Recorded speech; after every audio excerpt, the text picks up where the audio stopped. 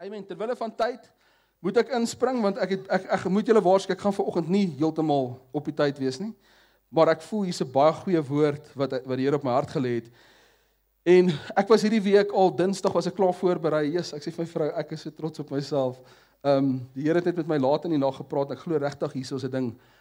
Maar terwyl die Here my praat, praat die Here met my oor prosesse en hy sê vir my, "Vertrou jy die prosesse wat ek in jou lewe aktiveer?" Vir wie van julle is dit moeilik om die Here te vertrou? Is daar Wel, dit het nie vir my natuurlik gekom nie. Ek ek het net gesukkel om die Here te vertrou. Die Here vir my iets sê, ek net Here, well, sorry. Based on previous experiences, um ek het 'n pa gehad wat so 'n bietjie gedefault het. Hy was eintlik 'n awesome ou, maar uit van tyd tot tyd gedefault. Hy het gesukkel tydjie om by die huis op te daag of sulke goed. Um my ma is vanoggend in die gemeente. Kom sien vir haar aan dit klap. Sy het 'n goeie job gedoen. Die rede hoekom ek vanaand hierso vanoggend hierso voor staan is want my ma My maat vir my, ehm um, ek sal nooit vergeet nie toe ek standaard 5 was, toe koop sy vir my eerste blad color Dr. Martens, daai daai 24 lyse wat daar is, dis waar my streke begin het. En toe het ek 'n slot aan die agterkant gedra en hierdie blad oksblad Dr. Martens wat sy met gesteelde geld vir my gekoop het. Ek moet daaroor, ek moet dit sê, dit was my stiefpa se gesteelde geld. Kom ons gee dit my ma aan dit klap as sy vir daai Dr. Martens gekoop het. Maar dit was awesome, awesome skoene het my in meer as een moeilike situasie in my lewe gesit. Dankie daarvoor. Dis wat gebeur as kinders kinders grootmaak. Love you. Ehm um, in 'n geval so vanoggend is daar wanneer dit kom by prosesse in ons lewe is dit soms so moeilik om mense te vertrou want daar is soveel ervaring wat ons het met negatiewe goed wat in ons lewens gebeur het dat ons net voel ons kan nie altyd die Here vertrou nie. En dan begin die Here met 'n klein werk. Die Bybel maak 'n stelling en dan sê hy en ek gaan vir jou lees in Filippense 1:6 and I am sure of this that he who began a good work in you will bring it to completion at the day of Jesus Christ. Nou ouens, as daar nou enige plek is waar jy nou moet excited raak in hierdie kerk, kom ons probeer hierdie groep hierdie kant. Dan is dit nou op, op daai stukkie daar. Okay, een van hierdie ouens snap dit, baby. Jy kry takeaways vanaand. Okay? So die gevolg is dit is wanneer jy begin snap dat hy sê and I am sure of this. Dis Paulus wat praat. Hy sê daar's een ding wat ek verseker weet. Ek weet 'n klomp goeders in my lewe, maar die ding wat ek wel weet is dat die goeie werk wat hy in my begin het, gaan hy klaarmaak op die dag van Jesus Christus. En Paulus sê, "Yes, baby." En die die ding is, dit is die rede hoekom ek dit vir jou vandag sê is as jy verstaan wat God wil doen en jy raak excited oor dit wat Jesus sê, gaan die Here die werk kom klaarmaak in jou lewe. Daar's 'n verwagting wat moet gebeur. En net omdat jy uitstaande beloftes het in jou lewe, beteken dit gaan nie gebeur nie. Dit beteken net God is besig om op 'n manier te doen wat die oog nie gesien het, die oor nie gehoor nie, het nie of wat in die hart van die mens nie opgekom het nie. En dis 'n belofte wat God doen. Maar God hou wag oor sy woord en sy woord sal nooit weer terugkeer nie. So ek wil vanoggend um, bemoedig met dit want wat ek werklik glo is is soms in ons lewens het ons hierdie prosesse, as dit so en dan kyk ons aan ons ons Here iets vir die verkeerde ou geprofeteer. Ek het involve geraak, ek het gedink ek kan dit doen, maar ek het dit nie in my nie. En dit is baie aardig, dis normaalweg wanneer jy by die plek kom wat jy besef dat jy's niks, dat die Here alles word en hy al die eer kry want God deel nie sy eer met 'n mens nie. En dis juist op daai plek wanneer jy dit nie kan doen nie wanneer God dit doen. Is dit nie awesome nie? Ehm um, soos gewoonlik kan ek net my my oggend wil ek net begin met 'n grappie. En ek het vanoggend 'n hele lys uitgepreek van grappe sodat ek gecheck die ouens enjoy it. Okay, what time of the day was Adam created? Just a little before Eve. Who was the fastest runner in the race? Adam. He was the first runner in the human race. Okay, so ek het nog gedink is skerp. Why are atoms Catholic? Because they have mass. Okay. Ek gaan hom net so daar los. Halleluja, voordat ek die Katolieke ouens hierso vanoggend kwaad maak. Laaste ene. Why did they not play cards on the ark? Because Noah was standing on the deck. Halleluja, ek dit gedink is crazy. Ek kry die lyn Christen Christen grappies op die internet, ouens. Jy kan nie verstaan hoe cool dit is as jy met jou met jou 8-jarige seentjie begin praat oor lyn Christian jokes nie. En hier is die ding wat niemand dit vertel is altyd die ou wat eers die antwoord ken. So ek like actually cool vir 'n slag. In 2 Konings 2 vers 9 sê hy And when they had crossed, Elijah said to Elisha, luister mooi. Kom ek bring dit gou in konteks hierso. Elia gaan saam met Elisa. Elia is die man van God, die profeet. Tot dusver het Elisa nog nie een wonderwerk gedoen nie, maar hy het 5 hulle agter Elia ingeloop. Hy het hy het vir hom gesê, Elia, ek gaan nie sonder jou, ek gaan oral waar jy gaan. En hy sê vir hom, nee man, bly by die huis. Ek gaan na hierdie plek toe, hy het na vier plekke na Gilgal toe gegaan en tot die laaste plek wat hy toe opdaag is die Jordaan. En hieso is Elisa, die getroue kind seun, saam met Elia by die plek en hy sê, "Ask what I shall do for you." En ek wil vir jou iets sê, in die seisoen vra die Here, "Ask what I shall do for you." Die blinde man kom by Jesus en so goed soos wat Jesus is, vra hy vir hom, "So wat sal jou begeerte wees? Wat kan ek vir jou doen?" Here, hy's blind. Hy wil net oë. Maar die Here vra jou, want jy het nie, want jy jy vra nie. En God wil die kultuur van vra in jou hart vasmaak. Jy kan net met die boonste ligte aansit. Ek weet nie hoe om dit af is nie. Um en hy God sit 'n 'n kultuur aan waar hy wil hê jy moet praat en Elia sê vir hom, "Wat is dit wat in jou hart brand? Wat is dit wat jy begeer van God? Wat kan God in die seisoen vir jou doen?" En weet jy wat? Hy sê en Elisa sê, "Please let there be a double portion of your spirit on me." Mag daar 'n dubbele deurbraak wees, 'n dubbele salwing, 'n dubbele gees. Dis nie 'n dubbele Heilige Gees nie. Dis dieselfde Gees wat in Christus was wat in ons is. Maar hy kan in jou twee keer sterker manifesteer. Amen. God kan iets deur en in jou doen. En die ouetjie wat die vraag vra, het net nou die dag was hy 'n boer wat in die lande geploeg het. Hy het geen radicalness al op hom gehad nie, geen wonderwerk gedoen nie, maar hy skep 'n verwagting in sy hart dat hy sê, weet jy wat, ek soek 'n dubbele ding van dit wat op jou is, soek ek op my. En weet jy wat, ek vra vir die Here, vra vir my, wat is dit wat jy wil doen? Ek sê Here, mag daar 'n dubbele ding op ons lewens kom van dit wat in ons land gedoen het. Mag hierdie generasie dubbel dit sien van die deurbrake. Ek wil nie praat van in die dae van uh Kwasi Sibantu en van Jannie De Pre en van hierdie ehm um, wat wat sit Nikki van 'n Westhuizen en ek wil praat Here van dit wat U nou doen die wonderwerke, die deurbrake, die guns. En wanneer jy met God begin praat en jy begin met God mededeelsaam raak oor wat in jou hart is, Here, ek wil meer as my pa hê. Is dit nie arrogant nie? Nee. 'n Seun moet altyd hoor gaan, beter doen, verder gaan. En daai verwagting kry jy deur om dit te kommunikeer. En luister mooi. And he said you have asked a hard thing. Boeta, dit wat ek deur is, jy het saam met my geloop. Dit was staf. Nou sê jy vir my wil twee keer meer deur dit wat, wat ek gaan. Enige versoek, enige profetiese woord het sy teestand. Every level has its devil. Amen. En op hierdie uitdaging wat hy vir hom sê is, jy het 'n harde ding gevra.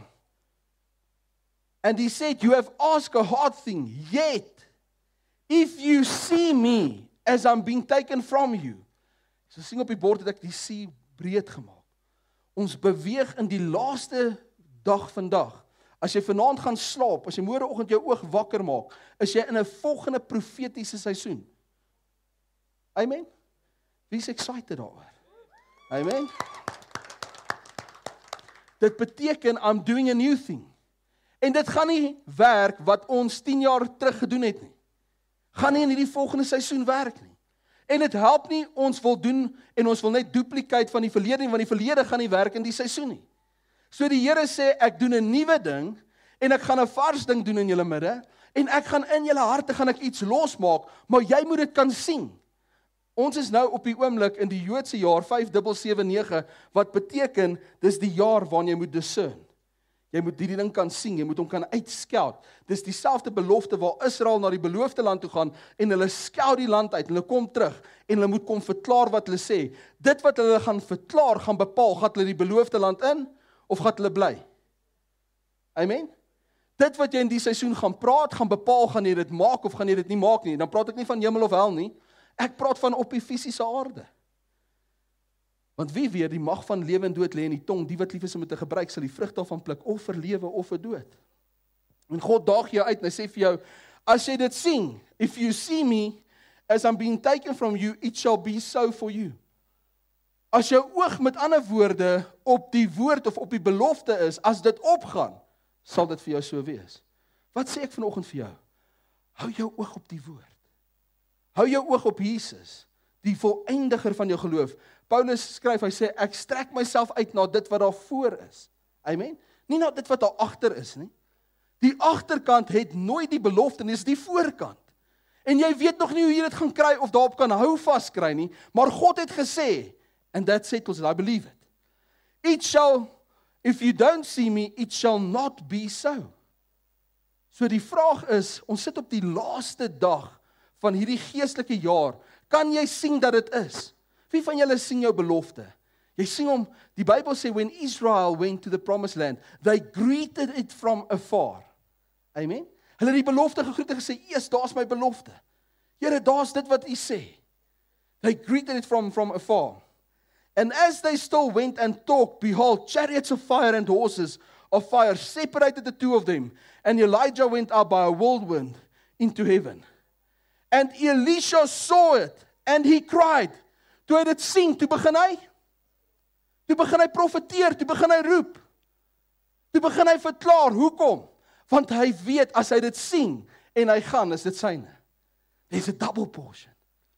Jy sien, jy moet die vermoë hê as jy dit kan sien in die seisoen, vanoggend gaan jy oor dit profeteer. Vanoggend gaan jy oor dit praat. Hoekom? Want God wil vir jou 'n nuwe ding gee. Luister mooi, there's a next season in which God is taking you and your family. Daar's 'n volgende seisoen wat God 'n deurbraak voorgee, maar is net vir die wat dit sien. Dit was nie vir elke profeet nie. Daar was 50 profete van die van die profete skool wat op die ander kant van die rivier gestaan het. En nie een van hulle het gesien wat God doen nie. Partykeer kan God iets in jou midde wees, jy's te blind. Die Bybel sê hy wat 'n oog het laat hom sien. Partykeer doen goed God iets in jou huwelik, maar jy's te blind om dit te sien.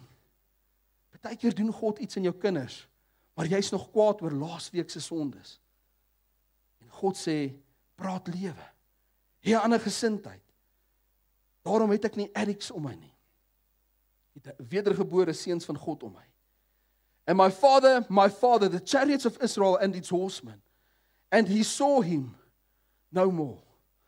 Daai julle wat het Jesus vir die disippels gesê? Hy sê ek gaan na die Vader toe gaan. Hy sê Here asseblief, hoe kan ons daar kom? Hy sê julle wil dit nie hê nie. Ek stuur vir julle die Heilige Gees. Ek gaan vir julle die Parakletos stuur, die Helper. Dis beter vir julle dat ek na die Vader gaan. Want as jy my nie sien nie, as ek nie gaan nie, kan die belofte nie kom nie. Wie soek die belofte? Die belofte kom nie saam met sien nie. Die belofte kom juis wanneer jy ophou sien. En ons gaan nou nie seisoene wat ons nie sien nie, maar ons gaan praat. Wie kan hom discern? Amen. And he saw him no more then he took hold of his own clothes. Luister mooi, sy own clothes en hy trek hom af. Amen. En ek wil hê vanoggend jy moet sien profeties dat hy skeer sy mantel van hom af. Hy skeer dit af.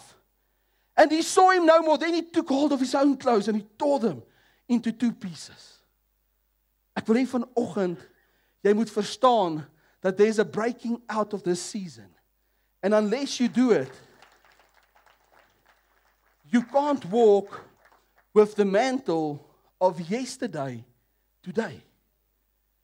You can't take the clothes of yesterday and apply it today.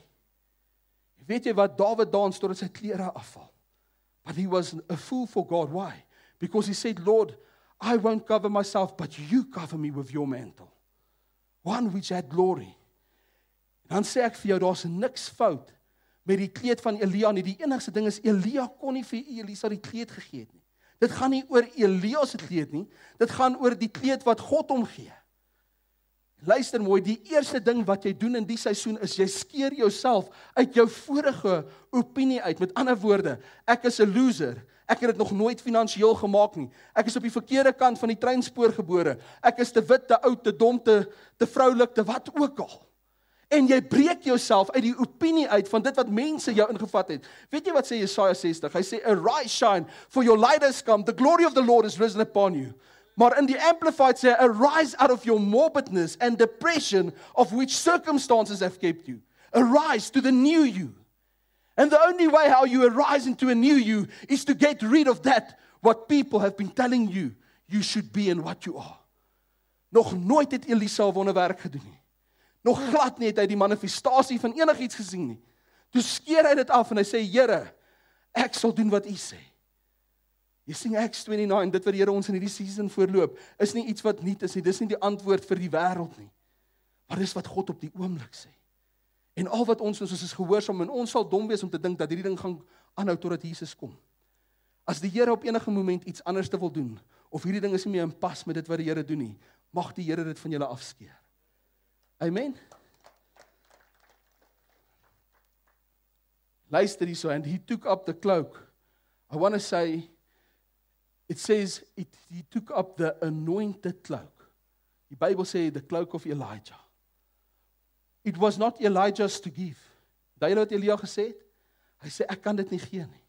Maar as jy dit sien, dan is dit joune.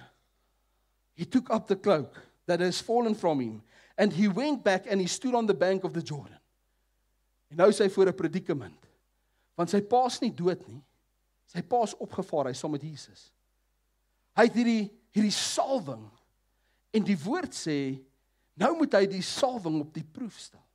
Hy moet bepaal gaan die woord vir my ruimte maak of gaan dit nie. En hy staan op die Jordaan en hy slat met daai kleed. Slat hy op die Jordaan en die volgende oomblik breek God soos vir Moses die Jordaan oop, soos vir Josua die Jordaan oop. As I was with Moses, Joshua, so I will be with you. As I was with Elijah, Elisha, so I will be with you. Ek wil vanoggend sê as I was with Neville and Angus and Reinhard Matthys so I will be with you. Amen. Amen. Elisha kom op hierdie stadium kom Elia en ek wil julle die storie vertel ek gaan hom so 'n bietjie inkrimp. Hy het 8 wonderwerke gedoen van 'n vrou se seun oprig die die die bonatuurlik dat die olietjies vloei en al hierdie goeters en ehm um, hy kom by 'n plek wat hy sê Here hier's moeilikheid. Daai julle Elia het by die weduwee gekom en vir gesê, "Haai, right. Ehm um, wat het jy? Dis 'n bietjie brood, 'n bietjie houtjies en 'n 'n klein bietjie olietjies." Toe sê hy van, "Nee, wat? Ehm um, gaan en gemaak vir my kos en voer jy my eers dan dan eet jy daarna." Red ek selfsugtig, amen. Wie het agterkom die profete is redelik selfsugtige ouens. Ek sit nogal dink ek myself dink ek myself Here daai daai oud geweet om by 'n vrou se huis op te daag want dis by my bly huis opgedaag te kom gevoeter. Okay. Hy sê verragtig pak gekry het vir my vertel ek met my kinders se broodjies vir hom gee dat hulle moet doodgaan. Die nonsens. En die kort en lank is God toets dit. En God doen die woord want God is altyd 'n kenner van die hart en die proewer van die niere. Hy kyk of jou intensie in dit lê wat jy het of in die woord wat hy oor jou gee. En partykeer laat hy jou toe in 'n ongemaklike plek in te kom maar die woord sal ewig staan. Amen. En daarom weer die Here, ek dink daar was dalk al 'n profeet of twee op my huis wat so move getraai het en ek dalk het ek dit gemis. Daarom is ek dalk 10 jaar later. Amen. Maar terwyl Elia daar is, doen Elia in sy lewe 8 miracles. En wie weet 'n dubbele porsie is hoeveel? Hoeveel? 16. Die interessante ding is hy net 15 gedoen. Ek sê Here, maar dis nie die belofte nie. Elisa sit daarso en hy doen al hierdie wonderwerke en die laaste een is met koning Joas wat hy vir hom sê vat die pyl en hy slat. Ek het laasweek daaroor gepraat. Hy sê trek trek die boog en hy skiet die pyl uit. Hy sê dit is die oorwinning oor Moab. En hy sê vir hom slat die pyle dis die pyle van oorwinning. En hy slat net 3 keer. Hy sê plaas slat jy 5 of 7 of 8 of 9 keer. Dan was die die die oorwinning permanent maar omdat jy 'n slegte gesindheid gehad het sê God vir jou hy gaan vir jou die oorwinning in jou hand sit maar is nie permanent nie Your attitude determines your altitude. Jou gesindheid in die lewe het 'n effek. En hier's Elisa, briljant ou, hy het sy pa gevolg. Hy het uitgekoop in die visie. Ek wil vir julle sê ek is van hart en been en van murg en been nog steeds lewende woord. Man, ek's lief vir Neville. Ek is lief vir die woord wat ons by lewende woord gehad het. But that's not what God is saying in this season to us. Amen. En hier sit Elisa, 15 wonderwerke en op die 15de wonderwerk hier sterf hy. Kom ons kyk aan hom. 2 Konings 13:20 So Elisha died and they buried him. Amen. Voel dit vir jou reg? Voel die woord reg? En luister hier, now now now bands of Moabites used to invade the land in the spring of that year. Duidelik het laasweek gepreek, the enemy only comes when the harvest is ready. Die vyand kom steel net as jy iets het om te steel. En hier kom Moab soos gewoonlik weer in Israel in, want hulle kom steel alweer by Israel dit wat God aan hulle beloof het. En as jy konstant die vyand vang steel, dan sê die Bybel, dan moet jy gaan en jy moet hom gevangene neem. Wanneer jy hom vang steel, kan jy honderdvoudig terugklim. Met ander woorde, miskien het iemand jou ingeloop met 'n miljoen, maar die belofte is vir jou nou vir 100 miljoen. Daar's niemand wat dit claim nie. Ek weet nie hoe arm gaan ons hier bly bly nie. Jesus Pieter ons gaan ons gaan met ouens invoer om hierdie kerk te kom bou. Yes, ek is nervous. Die ouens sê, Here, asseblief laat iemand net dom genoeg wees om te sê, "Amen." Weet jy wat you just need to come in agreement with God? Jy het nie nodig om nou dit te kan sien, jy het net nodig om in lyn te kom met wat God sê. Weet jy wat dit is nie so onmoontlik nie, dis nie so vergaande nie. Daai hele op 'n stadium toe kom hy liedjie uit. Ek sou kon doen met 'n miljoen. Amen. Is dit die baron wat wat is dit? Okay, daai wel wie ook al. En nou sing hulle ek sou kan doen met hierdie miljoen. Wie kan vandag 'n huis koop vir minder as 'n miljoen? Daai is in die moeilikheid. Dis net nog so in my leeftyd. Eers nou vra my ouma, "Jesus, Here, ek soek ook 'n miljoen asseblief." Nou nou leer sy haar kinders, hoor, ons ons gaan ons vertrou Here. Vandag kan jy met 'n miljoen niks doen nie. Wel, jy kan. Jy kan spoor toe gaan. In 'n paar ander plekke. As ek nou vir Benjamin 'n miljoen rand gee, gaan hy net vir hom Legos koop, nee Ben. Amen. Jy het geweet, jou pa ken jou. Um and as a man was being buried behold a mouldering band was seen, and the man was thrown into the grave of Elisha. And as soon as the man touched the bones of Elisha, he revived and stood on his feet. Lê vanoggend jy moet hoor, the process is not finished. It ain't over until it's over. En jy dink miskien hoor hierso jy die besigheid verloor, it's over, God has failed you. En God sê die belofte is nie klaar nie. Hier so hier loop hulle met hierdie lijk En hier sien hulle die Moabiete wat hulle kom aanval en hierdie ou dink by homself, "Goeie genigtig, ek het tog net 20 pennies in hierdie sak. Kom ons maak dit relevant. Ek het 150 rand in hierdie sak. Ek moet daai cherry vat vir 'n koffie. Sorry broer, daar gaan jy." Hulle gooi hom en hy rol en hy rol in die graf van Elisa aan. Weet jy wat is my ironies in hierdie hele saak? Is hoekom is Elisa se graf 'n oop graf? Het jy al ooit daaraan gedink? Ek bedoel as ek jou nou vat na die begrafplaas en ek gooi op 'n ou se graf, Hy moet die bene raak. Die bene lê onder die grond. Hy lê agter 'n klip. Die Jode het hulle begrawe in sulke sulke die profete en bekende mense in hierdie tipe grotte soos Jesus met 'n klip agter hom. Nou kom hulle verby, woeps, daar gooi hulle hom in. Nou ek gaan lees nou op van die ouens sê dat ehm um, Elisa se graf was op 'n stadium beroof en ehm um, die ouens het die klip oopgelos. Daar's ander ouens wat sê daar was baie aardbewings in daai area en sy graf het letterlik oopgebreek. Death couldn't keep it down. I death could not hold you. Amen. Down, fall down before you. Heaven and earth declares your name. Weet jy of ek sing? Hier gooi hulle hierdie perd en hy eindig op in die graf saam met Elisa. Nou ek weet nie van julle nie. Ek weet nie of ek myself sal doodskrik as ek in 'n graf val nie. Jesus. Jy's dood. This is this this over. It must have been life. But it's over now.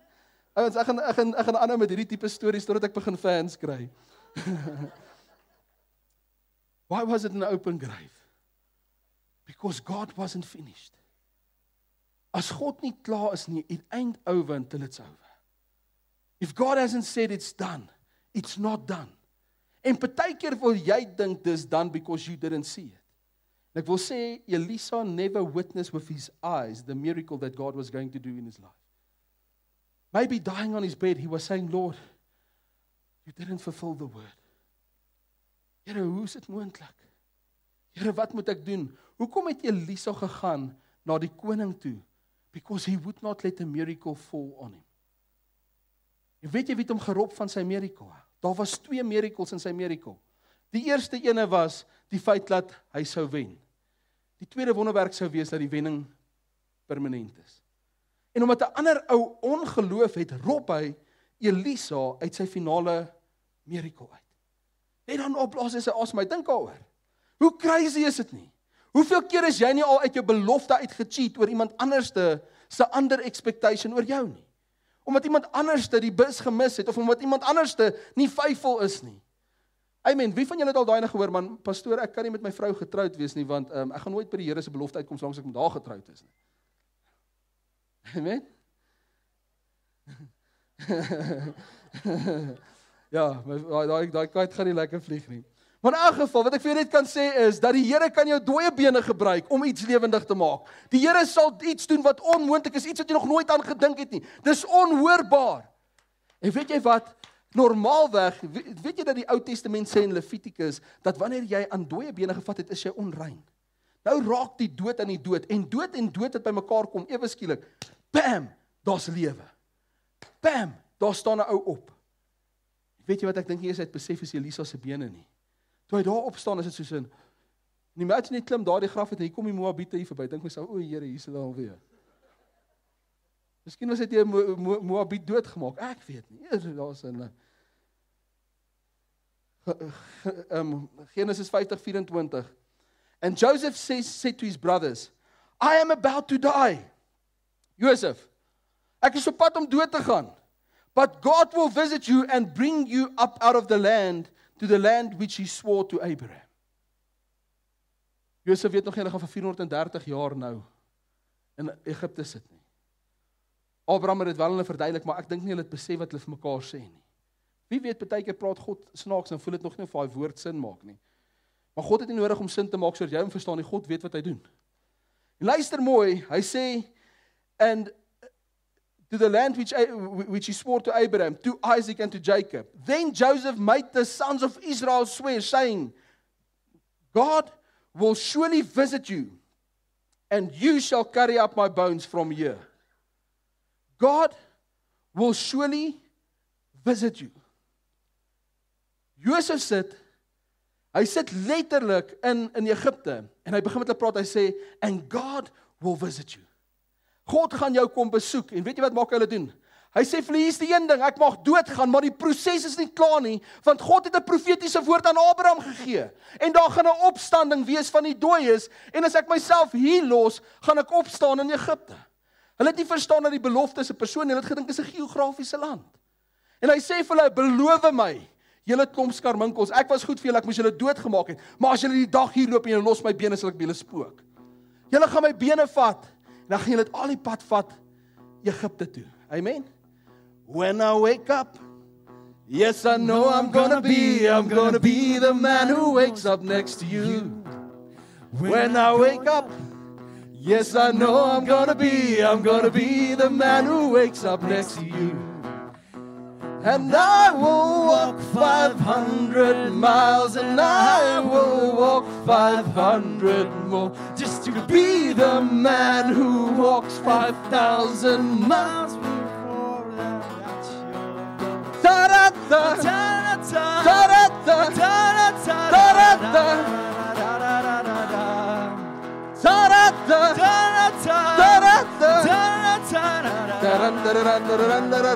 Kom ons vir hande klap. Amen. Ek is seker dis wat in sy hart was, Josef. When I wake up, man, da. Julle gaan nie sonder my tata.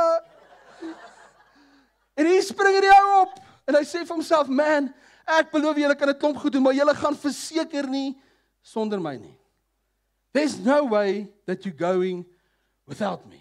Amen. Daar's 'n 'n nuwe ding wat God wil doen. En weet jy wat? Hy laat hulle 'n crazy ding beloof. Dis unheard of. Hy sê vir hulle julle beloof dat as julle gaan, vat julle my saam. En luister wat gebeur in Hebreërs 11:22. By faith Joseph at the at the end of his life made mention of the Exodus. Toe hy praat, toe profeteer hy oor die Exodus. Hy het nie 'n klou gehad wat God gaan doen. Hy het nie gedink Egipte gaan hy het gedink Egipte gaan altyd dankbaar wees. Maar weet jy wat wat was in sy hart? As God ons die dag na ons land toe stuur, dan los julle my nie in hierdie land waar ons welvaart het nie. Want ek wil weet wat God is. Ek wil weet en doen wat God doen. En die belangrike ding is is dat jy moet verstaan iets van Josef se hart. Hy was 'n prins. Hy het sopas die Egipte land het hy beerwe. En hy maak hulle profeteer oor die Exodus. Luister mooi. Of the Israelites and gave direction concerning his bones. Weet jy wat hy vir hulle gesê? Hy het gesê julle vat my Julle gaan begrawe my in die hart van daai beloofde land. Want die dag as daai bassein blaas, is ek daar. Want ek weet dat ek was gehoorsaam deur my lewe aan God. Ek het in God geglo. And that is counted to me as righteousness. Ek wil wees saam met my mense want ek kan een ding sien, dood gaan ek dood. Maar dis nie die dood waarvoor ek bang is nie. Dis wanneer ek daar opstaan en ek het nie die ewige lewe nie. Amen. Vraag wat ek vanoggend vir jou wil vra is, is is daar enige miracle oor in jou bene? Is there any miracle left in your bones? Miskien sit jy en sê Matthys ek vergaan. Is daar nog 'n belofte wat God in jou bene gemaak het? Het God nog steeds 'n woord wat hy oor jou spreek al kan jy dit nie sien nie? Weet jy wat dat wanneer God oor jou profeteer en praat, he wants nothing to go wasted. Hy wil nie hê dat jy moet uitloop of uitverkoop op dit wat hy vir jou gesê het van die begin af nie. Ek voel vanoggend dat die Here sê hy praat met manne en vroue vanoggend. Hy sê vir hulle it is your season. It is your season. Verd is dit verdie. Reg. It's not finished. The good work that he has started, he will bring to completion. It's your season to be obedient and to come into line. Want die Here wil 'n ding doen wat jy nie weet nie. There's a new thing. There's a resurrection power that needs to happen. It will only happen because God wants to do a new thing. You need to be open. It's your season of restoration. Ek sê vir die Here, I believe in second chances. Here, vat my terug hierdie week. Ek gaan vanaand daaroor praat. Nou hoe verlore ek was toe hy my kom ontmoet het. Now was a second chance and a second chance on a second chance. En weet jy wat besef ek? Die Here praat nie van 4de en 5de en 6de en 7de kansse nie. Dit's altyd, daar's altyd 'n second chance. Dit's altyd 'n second chance. Kom gee 'n tweede keer. Ek onthou toe ek tot bekering kom. Here vat my terug en hy sê vir my, weet jy wat tel die meeste vir my hart?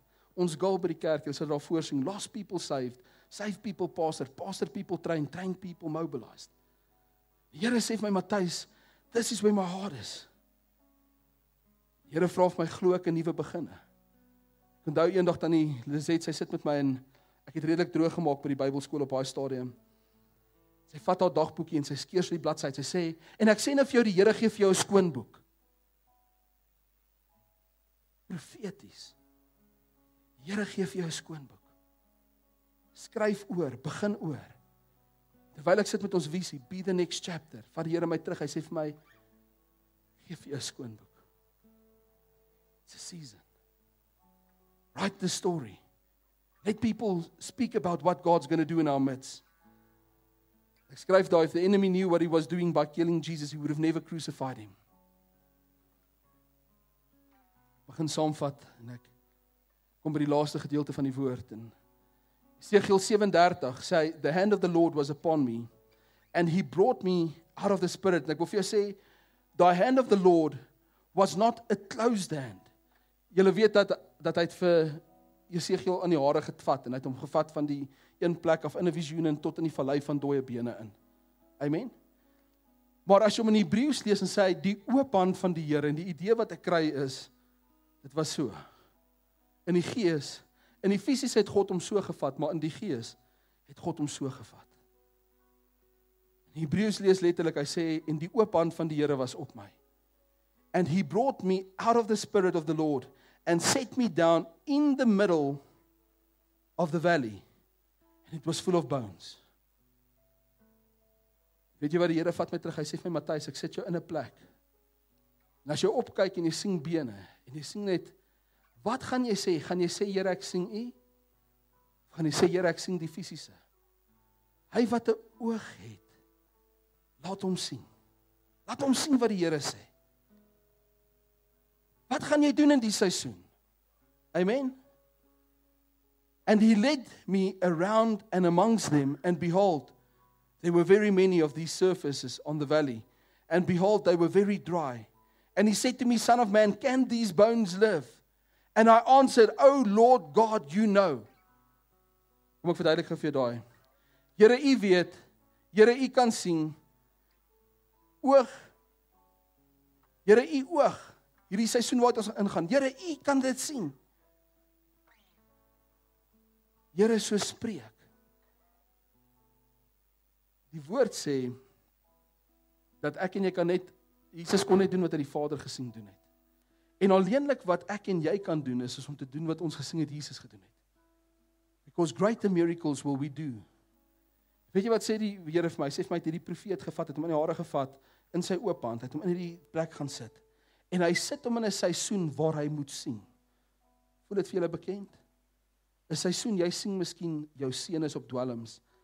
Jy sê Here, hy's dood. Jy sien dalk die kanker in iemand se liggaam, jy sê Here, hulle is dood. Jy sien iemand man die nou dag vir 'n ouetjie gaan bid by die hospitaal, man die het opgestaan. Daai ou, my ma sê vir my hy loop. Hy hy word maandag ons sal kom sê vir die Here hande klap.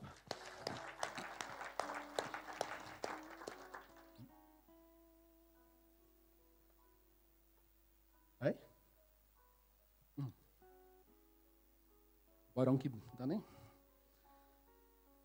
Here u weet. Here u kan sien. Ek en jy kan alleenlik sien wat ons die Here eerste siens gesien het. Weet jy wat is die mooi ding van dit wat besig is om te gebeur?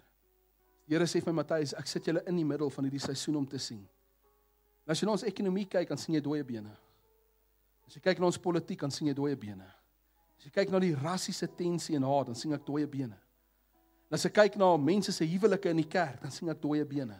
En as jy kyk na die volgende generasie, dan sien ek dooie bene. En die Here sê vir my, julle het 'n generasie geword wat altyd dood om julle kan sien. So wat sê julle van dit? Acts 29, wat sê julle van dit? Wat sê jy van dit wat om jou is?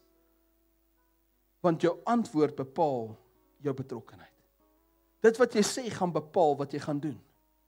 Dit wat jy verklaar gaan dit of maak of dit breek. Weet jy wat roep die Here my in die season? Hy sê vir my Matthys profeties, ons gaan vanaand 'n profetiese diens hê. En ek weet nie wat Neville gaan kom doen nie. Maar ek glo met my hele hart. Nommer 23 wat die Here my laas jaar gegee het. As ek 'n mens het ek sal jok. En as ek gespreek het, kan geen een dit ongedaan klaar. I really believe that God's going to do something new. Segiel 37 vers 4. Then he said to me prophesy. Gaan in hierdie seisoen in en praat. And say to them, O dry bones, hear the word of the Lord. O dry bones, whatever you have seen in the previous season, hear the word of the Lord. Because it is not through power nor through might, but it's through His Spirit. And when you speak, remember I spoke about the breath of God. Ek kom vandag op die einde van my reeks. The breath of God speaks about we are speaking the word of God into existence. Die woord sê toe God Jesus ges, gespreek het, toe skep hy en die hele skepping staan. Gaan lees wat staan in Hebreërs 1 vers 1.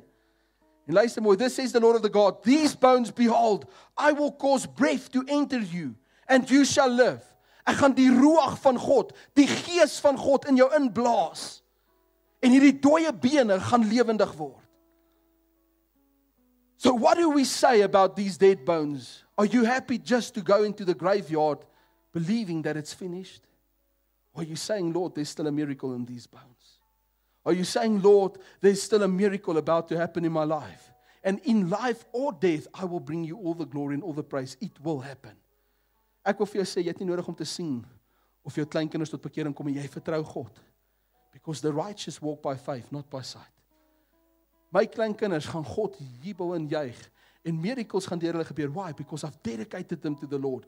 En die Here sê dat 'n seun gaan tot die duisendste geslag in jou bloedlyn af. Ek is nou eenmal 'n geseënde van die Here. Daar's 'n salwing wat op my kinders kom en op hulle kinders en op hulle kinders because it's God's grace that led me to repentance. And I had the glory to see his hand in my life. So I know that God will be faithful in their lives when he turns our children upside down. Amen. Ek weet nie van julle nie, ek is so excited, ek wil huil vanoggend. Ek wil dans en ek wil die Here net vereer because I believe the word. I believe it. And I will lay sinews upon you, and I will cause flesh to come upon you, and cover you with skin, and put breath in you, and you shall live, and you shall know that I am the Lord.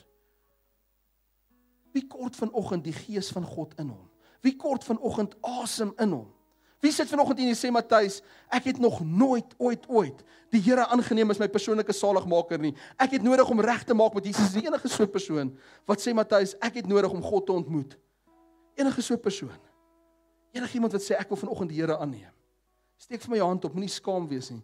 Dis die tyd wanneer when God just comes and make you part of the family. Ek moet my hand opsteek. Enige persoon wat vanoggend sê Jesus, ek het nodig om nuwe lewe in my te kry. Steek vir my net jou hand op. Niemand vanoggend nie. That's why we need to get the lost in here. So that we can see that God's going to raise up a generation of mighty men and mighty women. En ek af met die nagmaal net begin uitdeel. So I prophesied as I was commanded. Vir hê vanoggend jy moet hoor. So I spoke the word of God, declaring the word of God as God has commanded me. What did God command me? He said, Speak life into these dead bones. And he first asked me, when he asked me, I said, Lord, you know. Met ander woorde, die woord nou, Here, u kan sien. Here, u sien. Ek wil dit deurtrek na die seisoen waarin ons is. Ons maak vandag klaar met sien. Here, u sien. Toe die Here dit sien, toe sê hy, ek soek iemand wat sal praat.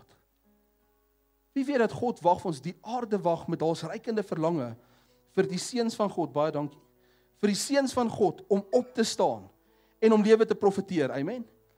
Dit wil ek sê oom Borrie op 80 you need to stand in the gap and prophesy the word of God in. It's a season where the the word in you must bring life. Weet jy wat? Ek sit in hierdie seisoen en ek sê Here, ou mense gaan nie bitter word nie, hulle gaan beter word. Ons ou mense gaan veilig voel. Ons ou mense gaan geseënd wees op hulle ou dag. Gaan hulle gesondheid geniet. Amen. Wie van julle wil oud word? Wie wil oud word as jy weet daar's nie hoop nie? Dit is nodig dat daar moet hoop kom in ons ou mense. Ons ouer mense. Amen. And God is doing something so unique. En weet jy wat sê die Here vir my? Sê vir my Matthys, vanoggend profeteer jy. En ek gaan vanoggend soos ek begin profeteer, gaan ek vir jou vra om vir my op te staan. Ek wil vir jou sê ek het nie 'n saak vanoggend oor wie in die kerk vir jou kyk nie. Wie wie is net verby die plek? Sê vir die ou langs jou, Moenie opinie hê nie. Ek, ek gaan net vanoggend soos 'n mal ding wees. OK? Moenie opinie hê nie. Dit is gevaarlik om opinies te hê. Party mense sal dood in die Bybel as gevolg van opinies. Ehm um, en sê net vir jou man nou al moenie offended wees nie. En die rede hoekom ek dit gaan sê is if we don't take action, we can't change our our legacy. Maar ek weet nie of jy vir Johan Du Plessis kan onthou nie. Ek bel hom vir sy 70ste verjaarsdag, 75ste verjaarsdag. En ek sê vir hom, Johan, ek sê die Here sê jy moet legacy los. Hy dog, toe sê vir my ja nee, hy hoor en hy wil nie al hierdie snaakse stories hoor nie. Twee dae later val hy van 'n gebou af en hy val homself so raak dat die van hom sy dood sou kos 'n paar maande later. En ek kry die geleentheid om hom in die hospitaal te gaan bedien nadat hy alles verloor het. But God gave him legacy. Want sy kinders het ingekom. Sy mense tot bekering gekom. Wat wil ek vanoggend sê? I believe that God wants to do a unique thing in our midst. Today I'm glad because I know that God is good all the time. All the time. Wanneer daar as jy net jou nagmaal kan kry. Die Bybel sê dat in die dag toe Jesus verloon is, hy die brood gevat en hy dit gebreek. Gaan nog eet nie, gaan net daaroor praat. Hy het die broodjie gebreek. Hy het vir sy disippels gegee en hy het gesê: "Neem eet. Hierdie is my liggaam." Weet jy dat Jesus het oor sy eie bene en sy eie dood eers geprofeteer? En toe word ons mede-erfgename in Christus Jesus. Amen. Hy maak 'n stelling, hy sê deur hierdie hierdie liggaam wat gebroke is, is ek en jy heel. Ek het hierdie na hierdie week seker omtrent 20 keer nagmaal gebruik. En ek wil jou uitdaag as jy in die aand sit en jy het nie raad nie, jy weet nie hoe om jou familie situasie te hanteer nie, jy weet nie wat in jou finansies gaan gebeur nie, dan vat jy die liggaam van Jesus en jy sny verbond met hom. En jy breek dit, jy discern dit, jy sê Here, hierdie is u liggaam is gebroke. En ek soek lewe oor my liggaam.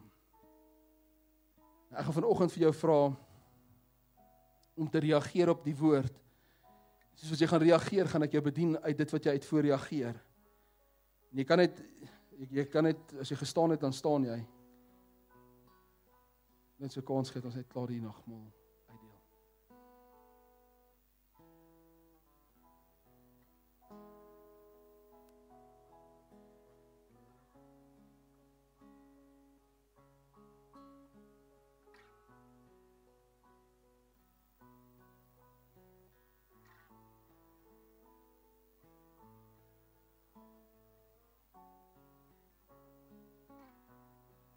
Wil jy net vir daai video's van Joe en van oom Angus of net van Joe reg kry?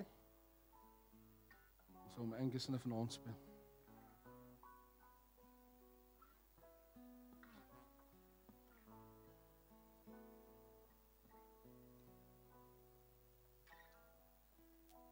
Esegiel 37 vers 7 terwyl ons uitdeel gaan ek dit net lees. So I prophesied as I was commanded. And as I prophesied there was a sound and behold a rattling and the bones came together bone to its bone. You need things to come together. You need things to connect. Dink soos by die kerk, ons het connect groepe. Van wie se liggaam is ons deel? The only problem is sometimes we still look divided by the way that body was beaten. Die Bybel sê Jesus het een keer gesterf om nooit weer te sterwe nie. Toe homself gaan openbaar aan die disippels was daar net gate in sy hande en 'n gat in sy sy. But the body was not divided anymore. It wasn't broken anymore. Amen. Die manier hoe Jesus sy liggaam heel gemaak het, toe hom verheerlik het, is die manier hoe God sy kerk wil verheerlik in hierdie seisoen. Is Ezekiel 37 moment coming into this body into the in, into the body of Christ globally which is going to heal the body of Christ so that we can walk from a place of healing. En wat beteken dit? Dis geestelik, dis emosioneel, dis finansiëel, dis in elke area en faset van jou lewe. Weet jy wat sê die Here moenie onder verwagting hê nie. If one in the body is lacking, the whole body is is lacking. As iemand swaar kry in jou gesin, wie van julle slaap lekker as jou kinders siek is? Enige van julle? Nee. As een kind in ons gesin siek is, dan gooi dit ons hele gesin omver. As jy raai 'n kind het wat in matriek is, net uit matriek uit is en hy kom 3 uur in die oggende by die huis in. Jy lê wakker en jy's onseker, dit ontwrig die hele gesin. Wie weet of ek praat? Amen.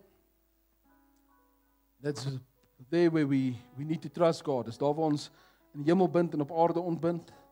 My ma, my ouma het sulke manifestasies gedoen. Kom ek by die huis en hulle sigaret as of as in my skoene gegooi en olie daarin gegooi. Uh, ja, as 'n kwaad vir my boetie en sê ek vir kom as jy my skoene ou. Weet, hoe kan ook julle dink julle my skoene is 'n asbak? Ek gaan vir julle bymekaar maak. En as dit minwaal die ou mense. Hulle gooi as my skoene. By paar, ek weet nie vertel dat my voete nie gestink het nie. Iets soos dit. Maar die uiteinde daarvan af is hulle het manifestasies gedoen, hulle het geglo die Here gaan ons inbring sometimes needed. So kom ons maak 'n gevas wat hy sê. And I look and behold there was sinews on them. Kan julle sien weer eens I looked I see and behold there were sinews upon them and the skin had covered them but there was no breath in them. If there's no breath in something it's still dead. And if God has done a miracle in your body and there's no breath it's still dead. Unless you get the Holy Spirit within you and you do things the Bible says, not through power, not through might, but through my spirit. It's a Holy Spirit thing that God wants to restore in the body. And he said to him, prophesy to the breath. Prophesy son of man, praat nou in hierdie seisoen. Spreek die lewe oor dit en spreek die lewe in daai liggaam in. Spreek die lewe in daai organisasie in. Spreek die lewe in daai kind in. This says the Lord God. Come from the four winds, O breath, and breathe on these slain. That they may may live. So things won't come right unless you start speaking to them. How do we trust God in this process? Dis nie om te sê Here alles werk nou uit, dis om te sê Here ons vat the righteous will live by faith en ons gaan opstaan.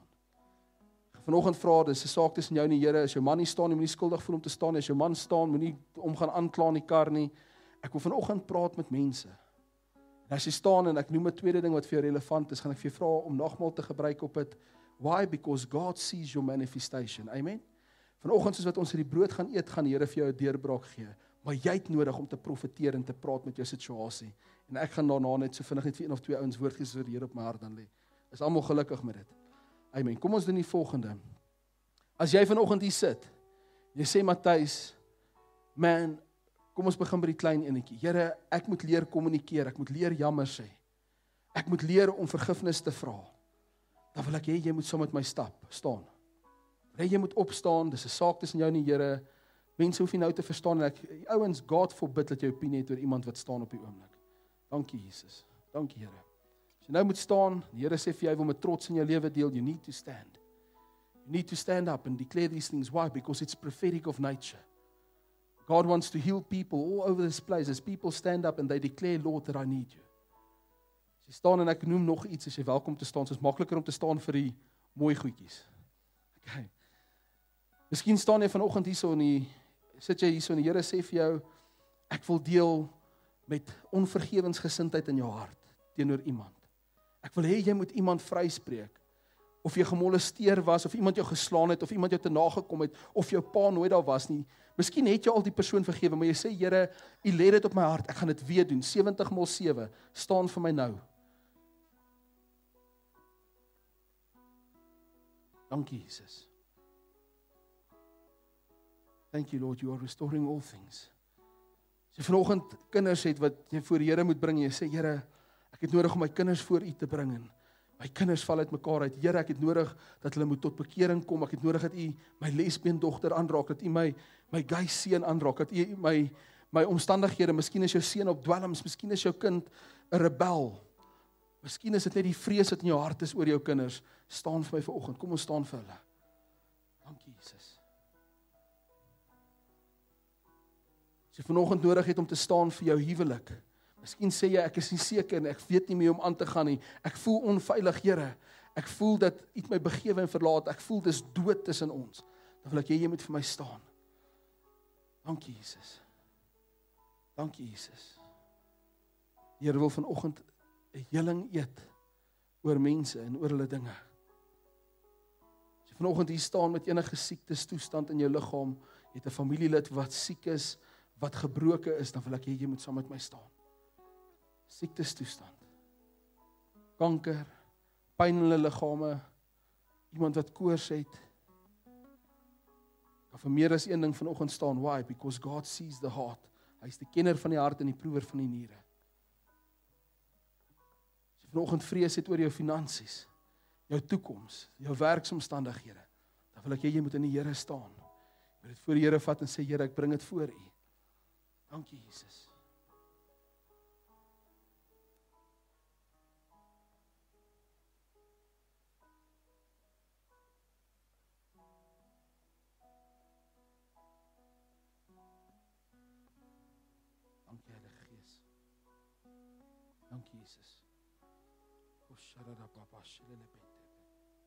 Kororo bo shata tarda bo.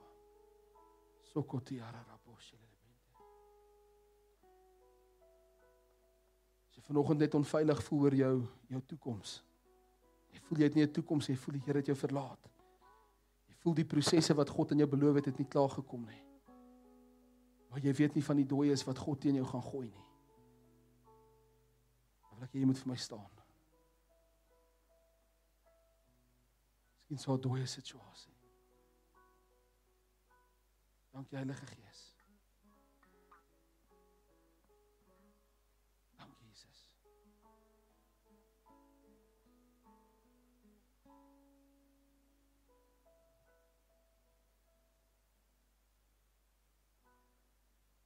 Dankie Jesus.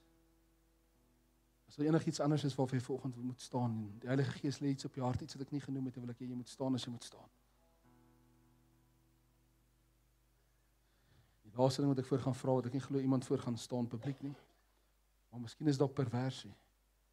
Miskien sal perversiteit vir die Here mee wil deel in jou lewe. Miskien sukkel jy in die area van porn of wat ook al die geval is. Staan dit en bring dit vanoggend voor die Here want die Here as die Here my kon heel maak kan hy jou heel maak. Ek glo vanoggend regtig dat die Here wil mense se harte net heel maak oor dit. Vanoggend as jy staan wil ek vra dat jy met die Here nou profeteer. Maak jou oë toe, praat met die Here oor jou dooie bene. oor jou situasie wat nie werk nie. Praat met die Here oor dit waarvoor jy bang is, die vrese. En dan roep jy die dinge in wat nie wat asof dit is wat nie is nie. Dankie Jesus. Ek het vir die Here gesê ons het in geloof uitgeloop Acts 29. Ons is besig om in geloof op te staan. Ons besig om die Here te vertrou om bonatuurlike dinge in plek te sit. And until this far the Lord has been faithful. He's never failed me yet. So Papa Vader, Here vanoggend, Here wil ons kom en ons wil hierdie broodjie eet. Wil hierdie eet en verklaar Here dat die omstandighede in ons lewens verander nou. 29 September teen 2 Oktober is ons in 'n nuwe dispensasie. Vader, ons kom gee erkenning, Here, nie aan 'n dag nie, ons kom gee erkenning aan 'n persoon. Dit gaan nie oor die Sabbat nie, dit gaan oor U. Ons eet vandag in lyn met U woord, vra ons Here dat U ons aktiveer vir hierdie seisoen van belofte. Lord that everything will work out to our good that we will see and taste that God is good. Lord as we eat this bread now, we declare healing. Father, we declare life. We declare victory. We declare breakthrough, Lord, in those areas where there's no breakthrough. Lord, we declare a unity where there's no unity. We declare, Lord, that there's a greatness that's coming to the body. And Father, even as your body was restored, Jesus, so restore this body this morning. As we give honor. And Lord, we give honor for this sacrament and we say, Lord, this is not only a ritual that we do. We believe that this is Jesus healing us and our circumstances as we take it by faith in Jesus name. Kom ons eet net die broodjie saam.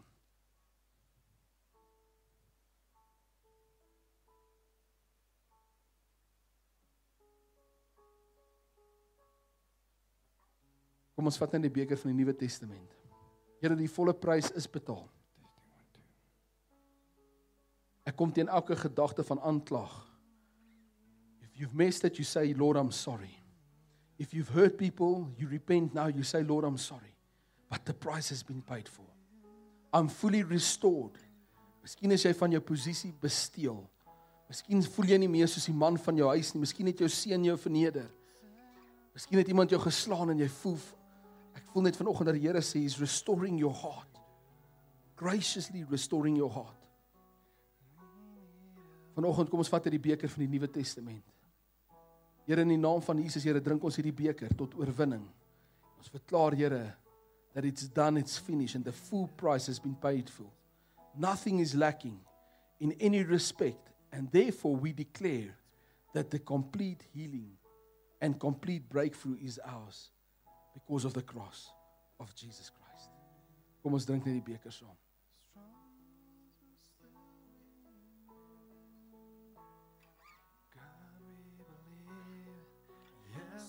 Can see that wonders are still what you do. And bodies are still being raised. Giants are still being slain. God, we believe it. Yes, we can see that wonders are still what you do. We are here for Come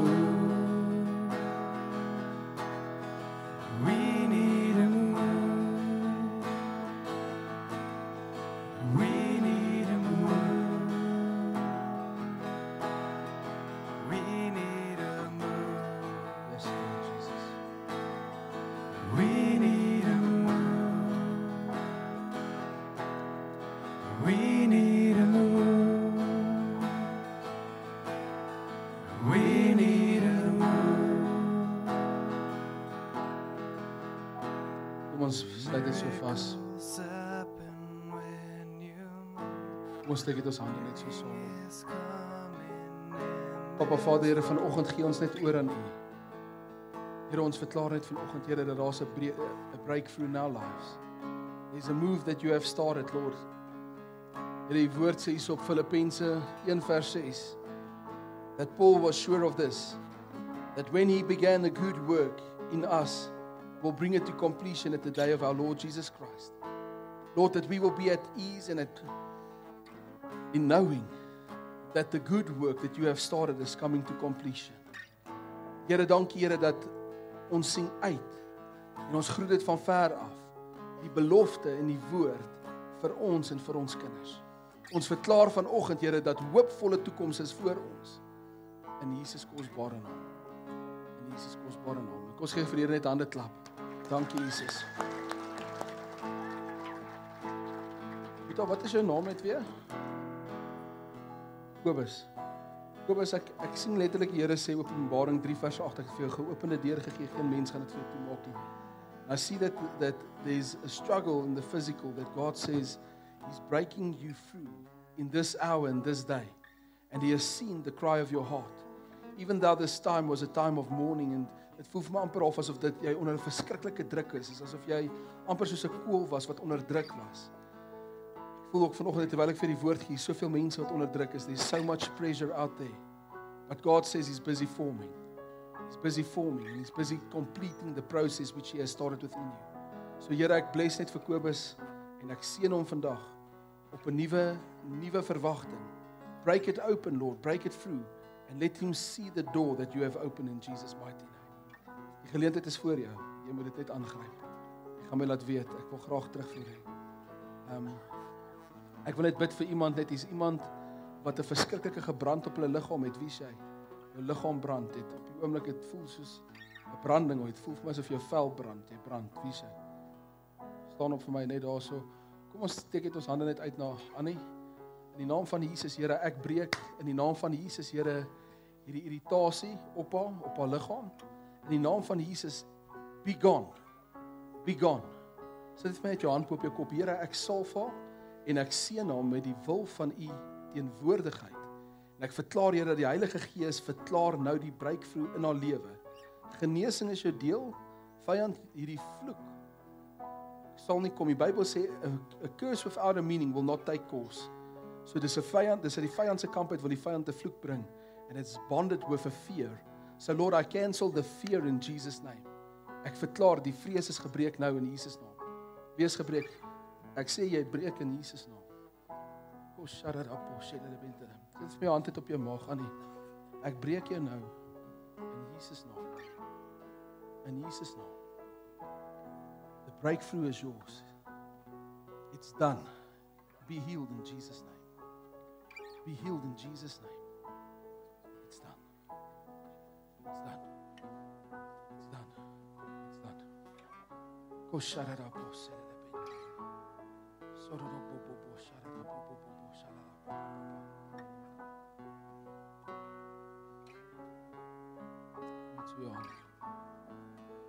You've got agreement. So Lord, where two of more agree, it will be so. Het vir Here gesê en Here, daar's twee of waar twee of meer saamstem, daar's een in ons midde. It's done.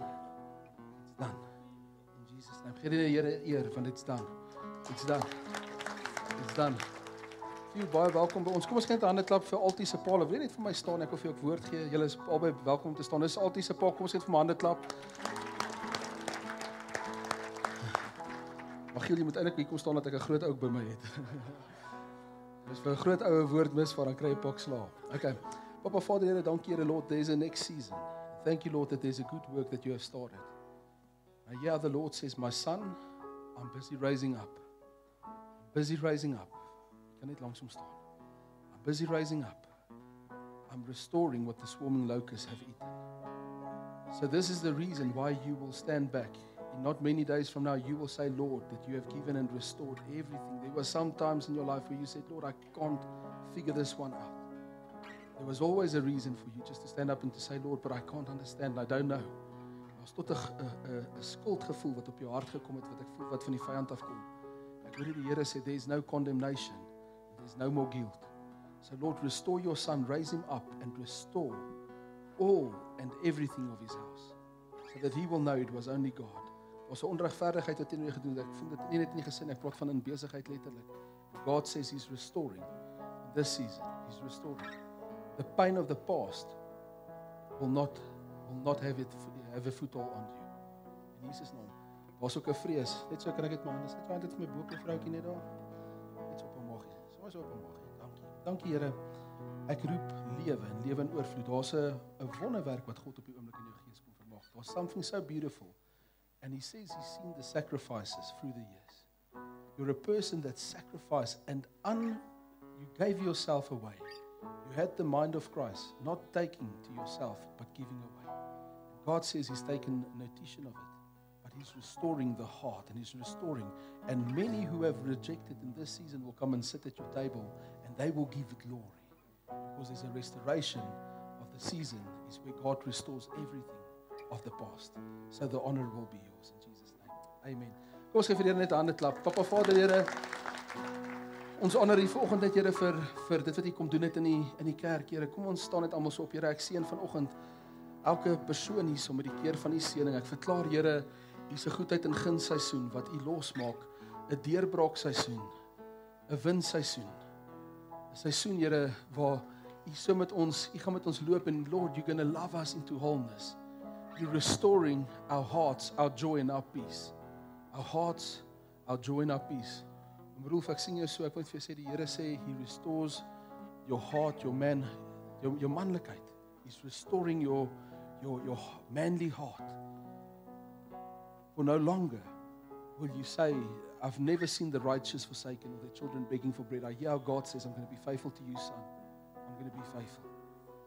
So Here vanoggend Here seën ek net die keer van hierdie huis. Ek seën elke persoon. Seën hulle met nuwe verwagtinge, drome, ideale en guns.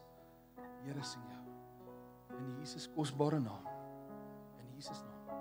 Amen. Amen. Kom aan, hulle gaan net vir ons lekker sing. Ons gaan uitbeweeg. Hier's koffie. Moet asseblief nie net ry nie. Kom drink koffie.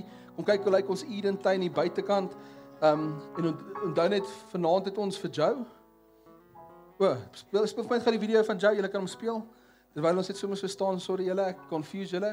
Hierso is koffie op my regterkant. Hierso is ehm um, vanaand is hier vir elke oue worsbroodjie. Jy moet kom. Ek het soveel worsbroodjies gekoop. Kom ons luister net gou na Joe. Speel hom.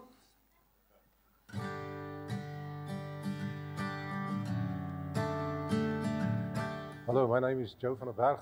Both Marie and myself are sorry we can't be with you, but we definitely are with you. And we support this vision of Acts Sit 29. dit vir die lig af. Uh, Matthijs and Kali, we want to commend you for your braveness and being brave, stepping out uh, into this new. Uh, in uh, 2 Corinthians chapter 3, it talks about uh, the Spirit of God, and where the Spirit is, there's freedom and there's continual change, there's from glory to glory. And this is definitely a, a major move, a major change. And you are very brave. The Bible also says that uh, when we live in the Spirit, we should keep in step with the Spirit. And you are definitely doing that. Uh, uh, the key word is stay relevant. I believe that you are relevant in this time and the time that we're living in, uh, and the changes you are about to do, and how God's leading you. And I believe in my heart that this is relevant. Um, uh, I've I've grown up in the Lord in times where the the, the charismatic movement uh, has come upon the church, where God revived the worship, and there was also the faith movement through the Rhema churches, and then there was later on there was a new touch by the Holy Spirit where He refreshed the churches, and now I believe that it's again time for new wine and new wineskins. Jesus says, not old wine, new wineskins, new wine, new wineskins, and you are preparing a a new wineskin for the new wine to come. And and this this is the relevant uh, keyword uh, relevance. That this time for relevance and and uh, be there where God's working and and staying right there in the place where God is at work and and uh, we support you. We pray for you, and we are standing with you in this and and praise God for this. Amen.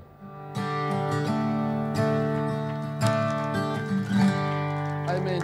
Amen. Ek wil julle asseblief vra vanaand is daar nog 'n video? Okay, kom ons sit. I just want to greet Matthias, my son. Matthias, we are so excited for you on the 29th of September when you launch out with your new vision, with your new church. And I know that uh, Pastor Neville Norton has got your back, as I have, as your spiritual dad. And I just want to say to you, go for it. Okay, remember, no man having put his hand to the plow and looking back is fit for the kingdom of heaven. Luke 9:62.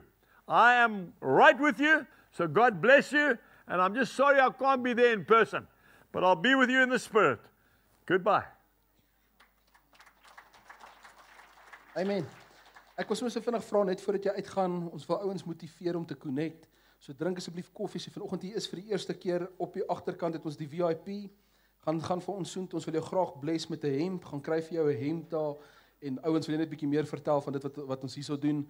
Die res van die mense gaan vir ons uit, kom drink koffie, gaan uit fellowship op die buitekant en vanaand het ons worsbroodjies en koeldrankie.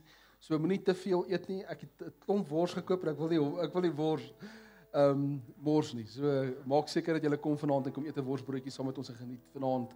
Uh 5uur begin ons. Ons het vir Neville hierso, vir Joe en vir Andrei en dan gaan ek die Here vertrou ag vir Andrei en vir Andrei. Halleluja. Dankie my vrou. Sonder jou sal ek nooit die regte pad kon loop nie. Ehm um, en dan môre aand, maandag en dinsdag aand het ons vir Andrei Kilo ons wil hulle regtig motiveer kom tel ons arms op en loop dit saam met ons. Ons love julle. Dankie. Ons dit voel soos family en ek is so excited nie net oor dit wat die Here in ons doen nie, maar wat die Here in julle gaan doen. Dis baie lekker om deel te wees van julle. Amen. 'n Geseënde dag en enigiemand wat gebed voorig voor nodig is, ek wil vir jou bid, kom vorentoe en ek het 'n span wat saam met jou gaan bid.